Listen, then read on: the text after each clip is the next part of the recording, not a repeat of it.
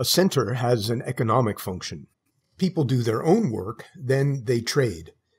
But a person also works, searching, transporting, bargaining, enforcing, and insuring against risk and uncertainty.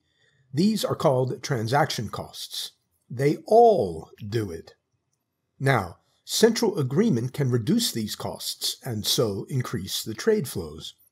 The definition of an institution is a center that reduces transaction costs. It happens whether people agree on the rules or someone directs them. Obvious case is a business firm or sports team. Entrepreneur or coach directs the workers or players. This can be faster and more efficient than if they bargained with each other. True of government too. Defense, legal system, social safety net, environmental protection all reduce common costs and risks, and so increase trades and well being.